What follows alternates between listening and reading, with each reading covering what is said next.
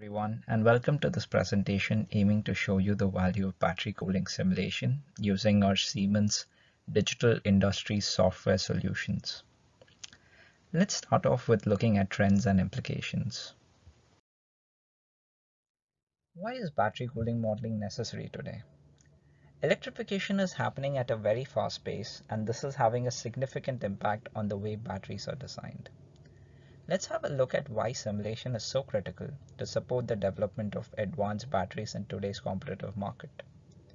First, batteries often fail due to overheating, so ensuring that the temperature ranges are maintained during normal operation is critical. Doing so increases the battery's output performance, increases its charge and discharge efficiencies, and helps avoid degradation to extend battery life. Simulation plays an important role here. Second, the battery of future requires much higher power density and energy density to extend range and lifespan. Simulation can be leveraged to ensure effective usage of active material, look into new fuels and hybrid systems, as well as imaginative novel processes and materials. Third, we need to reduce the cost, so we must leverage simulation to lower design and production costs improve operational efficiencies, as well as reduce maintenance costs. And finally, sustainability and safety of the battery pack are critical and simulation is an effective tool to prevent thermal runaway, mitigate safety hazards, and achieving new operating ranges. So how does battery cooling simulation address these challenges specifically? First, it enables engineers to predict and understand real-world cooling performance before ever building a first prototype. We are talking here about capturing the fully coupled electrochemical and thermal performance and doing so across varied drive cycles and operating conditions. Beyond that, simulation also lets you look at competitive trade-offs in design phase with the development of more efficient batteries, reducing costs and driving innovation by exploring many design variations early in the development. By adopting high fidelity simulations and using it to explore the design space, you can truly engineer innovation into your batteries. Ultimately, this is what is required to stay in the game and move ahead. So where can we apply this battery cooling simulations.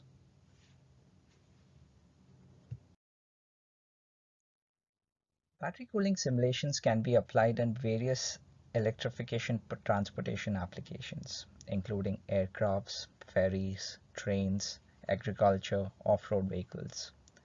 For all these applications, the heat generated during drive cycle limits the performance and hence efficient battery cooling is necessary not only to maintain performance, but also to avoid premature aging of the battery pack. But not all simulation tools are created equally. Quite often, simulation itself can become a bottleneck. So what I would like to do next is to take you through the key requirements for simulation to be efficient and effective for battery innovation. First, engineers must have access to an efficient virtual cell design tool. It needs to capture all the physical and material properties within the cell to enable a detailed physical design. But it must also facilitate virtual testing of the cells for various drive cycles and thermal abuse conditions and allow for studying the effect of calendar and cyclic aging of the performance of the cell. Finally, it must also provide capabilities for the gap analysis so that the engineer can confirm the suitability of the cell for the application and to compare the virtual cell test results with the actual physical prototype.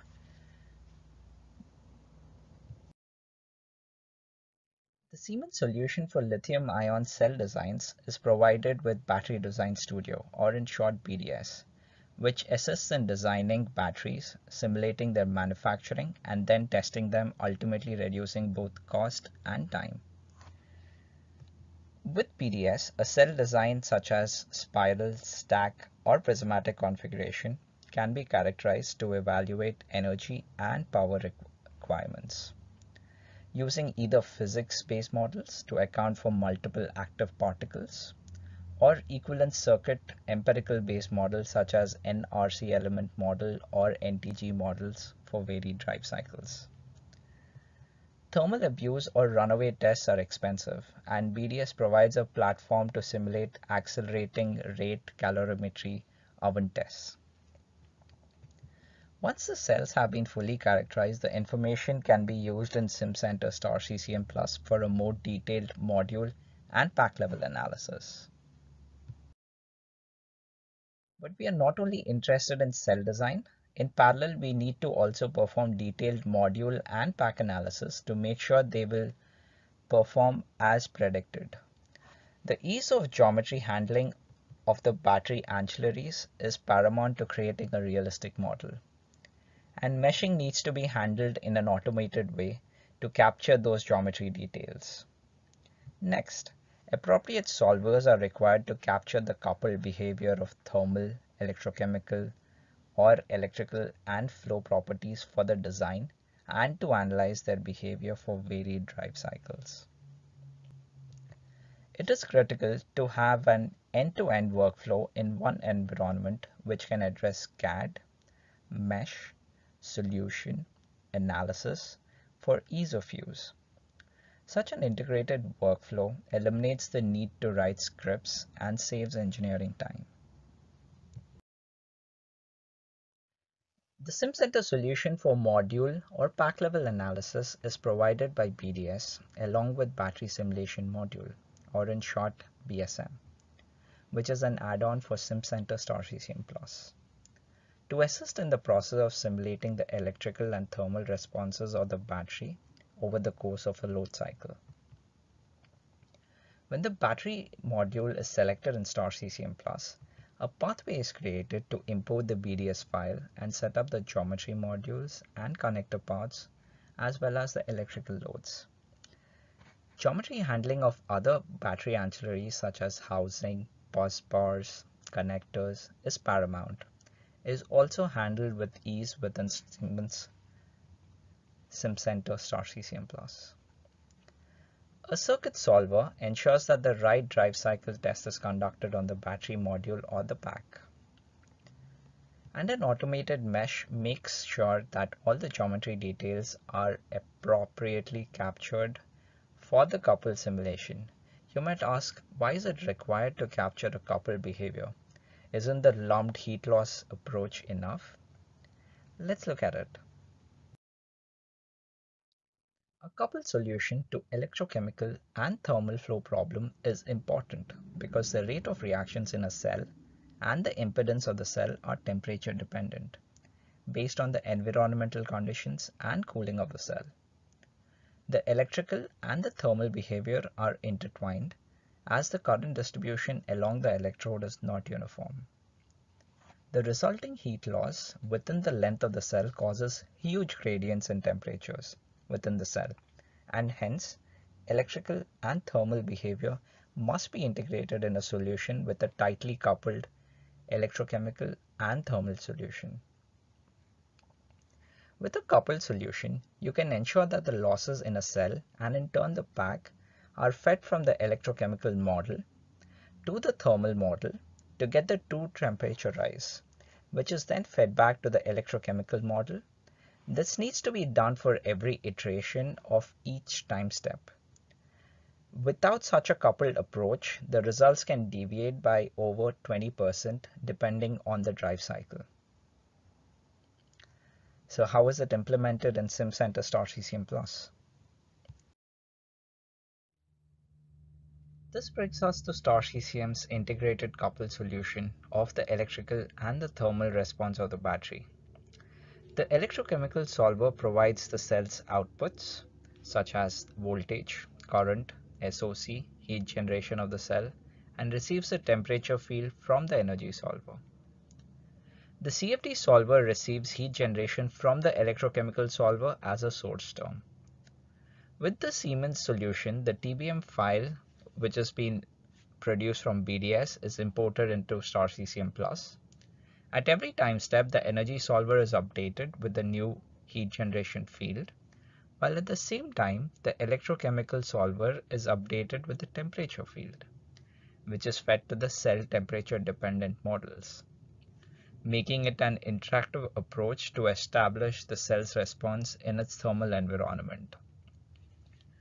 There is a two-way mapping to transfer the data from the electrical mesh invisible to the user to the thermal CFD mesh. Now let's look at how we can leverage the solution to drive better battery cooling innovations. Battery designers are looking for innovative answers to differentiate themselves in the market. Single point simulations are a thing of the past.